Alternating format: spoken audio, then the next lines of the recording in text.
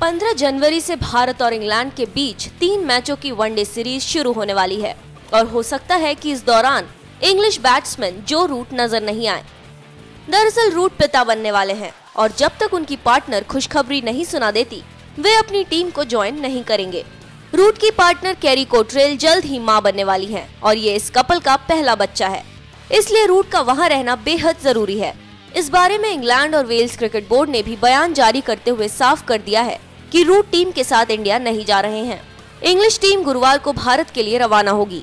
इसी दौरान रूट के घर पर नया मेहमान भी आएगा। रूट ने फैसला किया है कि जब तक केरी बच्चे को जन्म नहीं दे देती, वो भारत नहीं आएँगे। अगर जो रूट की पर्सनल लाइफ की बात करें तो जो रूट फ़िलहाल अनमैरिड हैं। हालाँकि उनकी एंगेजमेंट हो चुकी है। जो रूट ने दो साल चले अफेयर के बाद, बीते साल मार्च में गर्लफ्रेंड केरी के साथ सगाई की थी। रूट ने पिछले साल इंडिया में हुए टी वर्ल्ड कप से ठीक पहले केरी को एंगेजमेंट के लिए प्रपोज किया था। तीन मैचों की वनडे सीरीज़ का पहला मैच 15 जनवरी को पुणे, दूसरा मैच 19 जनवरी को कटक और तीसरा मैच 22 जनवरी को कोलकाता में होगा। जो रूट ने हाल ही में भारत के खिलाफ हुई टेस्ट सीरीज़ के दौरान पाँच मैचों में चार सौ इक्यानवे रन बनाए थे। वहीं जो रूट इंग्लैंड की ओर से वनडे मैचों में दूसरे हाईएस्ट रन रेट रखने वाले क्रिकेटर हैं।